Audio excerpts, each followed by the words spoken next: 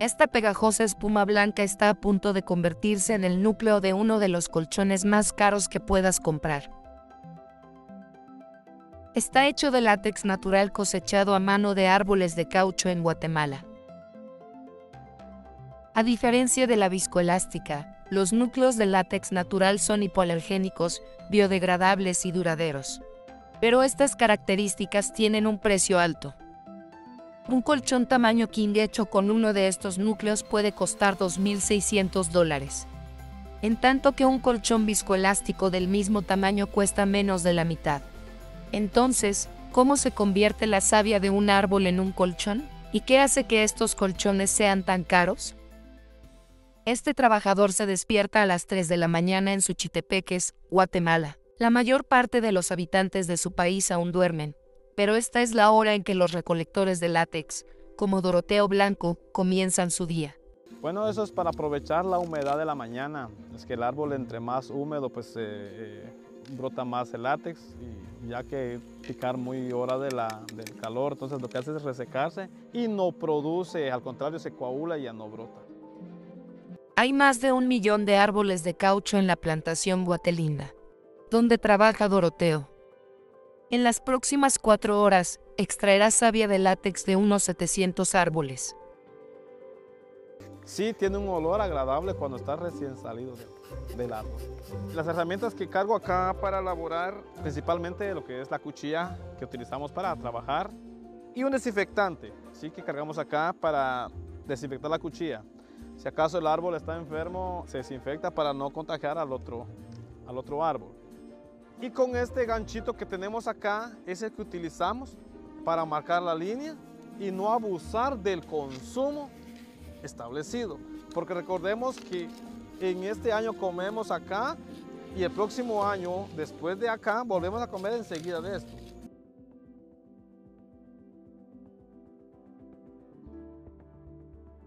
Doroteo talla una cuidadosa espiral en la corteza de este árbol para escurrir la savia. Su técnica es increíblemente precisa, algo que ha perfeccionado durante 20 años de trabajo.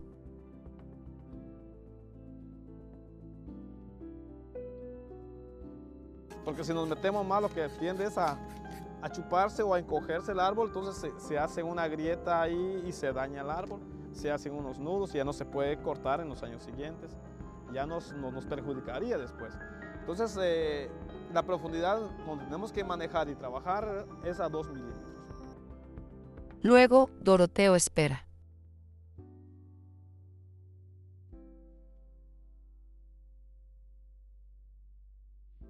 Once y media, mediodía, entonces tenemos un lapso aquí que es así como de 4 o 5 horas de goteo y, el árbol suelta lo que tiene y logramos recoger hasta litro o litro y medio por, por árbol. Pero saber cuánto tiempo debería durar ese lapso es como hacer malabares. Si recoge el látex líquido demasiado tarde, puede formarse una miga de caucho menos valiosa. Un material bueno para fabricar cosas como autos de juguetes, pero inútil para hacer colchones. Durante la temporada baja de verano, se filtra lentamente un promedio de 140 litros de látex natural en los cubos de Doroteo cada mañana. En el invierno es el doble. Eh, se están picando entre 600 a 700 árboles. Se cortan un aproximado de 3 árboles por minuto. Depende de la velocidad del, trabajador. Hasta uno llegamos a cortar 4. Con el hecho de cortar un árbol no quiere decir que ya puedo picar. O sea, tengo que conocer todo lo que es el árbol para yo ser un picador. Porque yo puedo venir y corto el árbol, pero no sé qué estoy haciendo. Entonces, para eh, uno meterse bien a lo que es el árbol, uno tiene que darle corazón y centrarse y como un mes me llevé para, para ir aprendiendo. Y de hecho aún sigo aprendiendo porque en la vida uno sabía sigue uno aprendiendo. Pues. Todo lo que recogen los picadores va directamente a una planta de procesamiento cerca de allí. Los trabajadores de la fábrica juntan el botín de la mañana en tanques.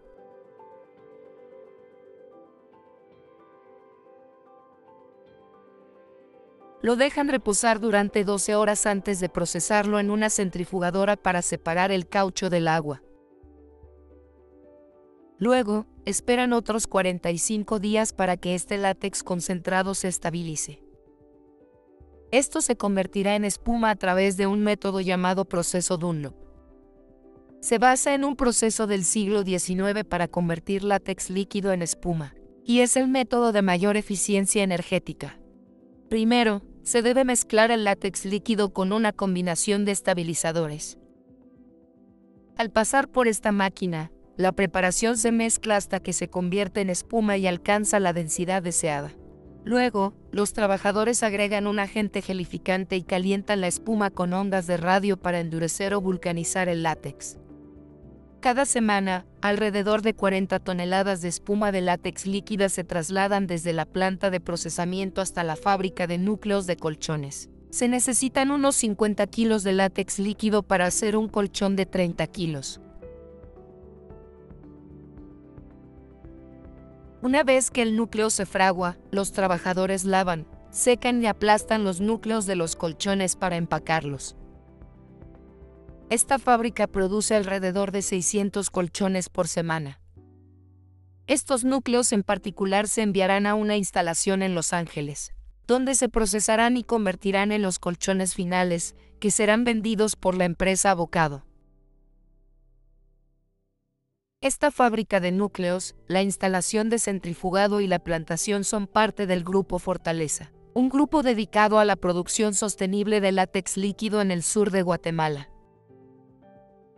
La familia de Christian Close ha dirigido Guatelinda durante más de 50 años, solo una década más de lo que se puede explotar el árbol de caucho promedio. Los trabajadores cuidan las 800 hectáreas de árboles de caucho de Guatelinda. Tenemos el certificado de FSC. FSC significa Forest Stewardship Council.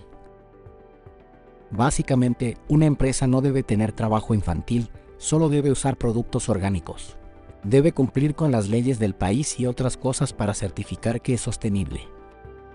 Las instalaciones también cuentan con la certificación GOLS o estándar de látex orgánico global. Los productos que llevan la etiqueta deben estar fabricados con un 95% más de látex orgánico certificado. Estas certificaciones agregan valor al producto final y, en consecuencia, ceros a la etiqueta de precio. El auge de la industria automotriz a principios del siglo XX hizo que la demanda de caucho se disparara y que surgieran plantaciones en lugares como el sudeste de Asia y América Central y del Sur pero un rápido aumento en la producción condujo velozmente a la caída de los precios, que a menudo se produjo a expensas de las poblaciones indígenas obligadas a trabajar en estos bosques, a veces bajo la amenaza de violencia. Desde entonces, el mercado mundial del caucho natural ha fluctuado mucho, por lo general moviéndose junto con la demanda de automóviles. En 2010, el precio era muy alto, por lo que mucha gente comenzó a sembrar caucho comenzó a comprar mucha tierra y a endeudarse mucho. En los últimos 10 años ha estado fluctuando, y en este momento el precio no es sumamente bajo, pero sí es bajo si lo comparamos con lo alto que solía ser, debido a toda la guerra en Rusia y Ucrania, y todas las sanciones impuestas a China y la falta de producción en China también. Todo esto ha reducido el precio de los productos básicos de caucho natural. En momentos como estos, los trabajadores de las plantaciones corren mayor riesgo de explotación, que es lo que las certificaciones como GOLS intentan incentivar a las empresas a que no hagan. En 2021, el mercado mundial de colchones de látex estaba valorado en 9.700 millones de dólares. Para 2030, ese número podría duplicarse alrededor de 20.000 millones pero mantener los altos estándares que justifican el precio final del colchón no es fácil. En nuestra historia como plantación de árboles de caucho, hemos pasado por dos o tres huracanes. Cuando llueve demasiado, realmente no se puede cosechar nada. No se puede picar porque toda la savia que sale del árbol se lava. En segundo lugar, la lluvia destruye carreteras, por lo que no se puede transportar nada.